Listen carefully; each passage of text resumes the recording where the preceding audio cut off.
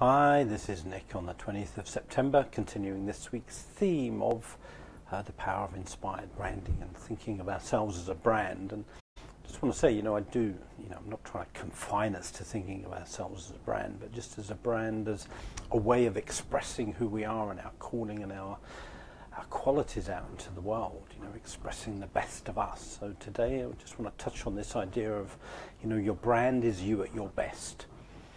And I think there's two ways of approaching this, you know, I've certainly tried both of them.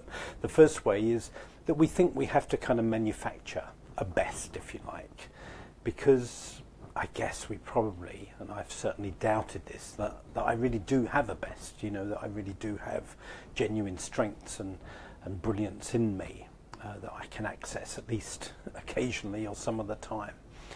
Um, so when we don't feel in touch with our natural best, if you like, our authentic and genuine best, our pre-existing best, you know, the, the essence of who we already are, when we're out of touch with that, we think we then have to manufacture something to replace that.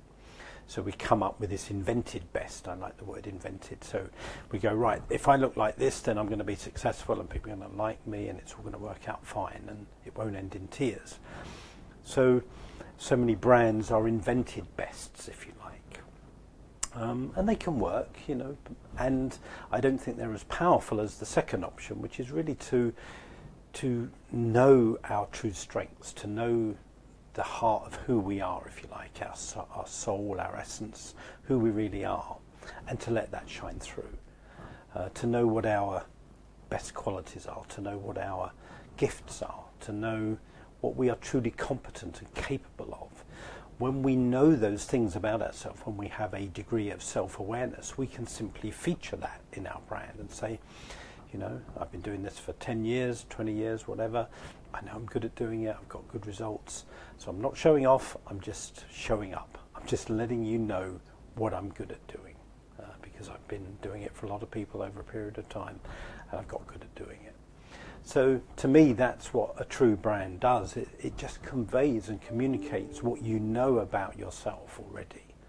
Um, so that's today's thought. Don't try and invent a best. Don't try and manufacture a best. Get to know you at your best. And and sometimes we need some help with that. I've certainly needed help with it. And something I've done over the years is actually I've asked people to tell me what they think me at my best looks like, and, and that's been really helpful. And also, what I do now is I I often ask people at the end of coaching conversations or talks, I say to them, what, is, what have you found valuable about this? What has been the value for you? So that I can translate my best qualities into the value that other people derive from them. Because obviously, ultimately, our brand is an act of service. It's not just about us saying, this is me. It's about, this is me and this is what I can do with you or for you and what we can do together. So I hope that's helpful. Bless. Have a good rest of your day. Bye bye.